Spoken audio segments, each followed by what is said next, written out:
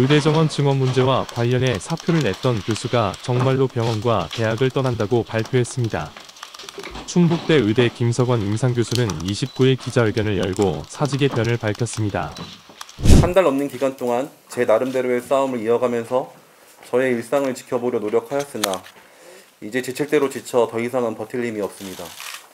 그래서 정말로 병원을 떠나고자 합니다. 김 교수는 자신의 사직에 대해 환자들에게 사과했습니다.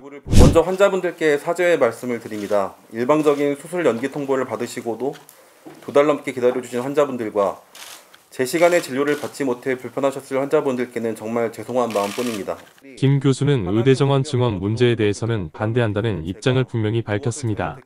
지금 이 이대 2,000명 증원과 필수 의료 패키지는 아무리 이해해 보려고 해도 근거도 없고 합리적인 의사결정의 과정을 거치지 않은 절차에 분명한 문제가 있는 정책입니다. 저는 이 정책에 분명히 반대하며 이것은 저희 밥그릇 문제가 아닌 미래의 우리나라 의료를 위한 제 의지입니다. 김 교수는 김영환 충북지사와 고창섭 충북대 총장에 대해서도 쓴소리를 남겼습니다.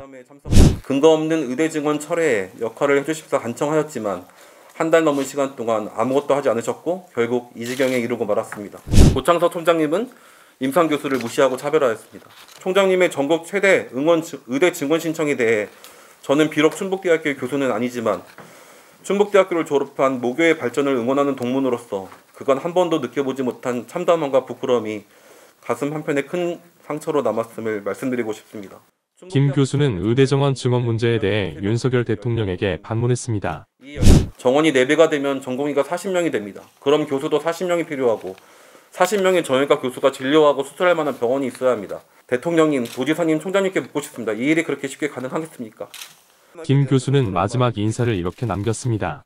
정말로 의대 정원이 200명이 된다면 그 학생들을 가르칠 자신도 없습니다. 몸이 힘든 것은 참을 수 있습니다.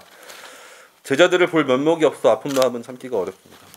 정든 모기와 병원의 발전을 기원하겠습니다. 그럼 안녕히 계십시오. 2024년 김 교수는 사직 시한이 만료되는 다음 달 1일 병원을 떠난다고 밝혔습니다.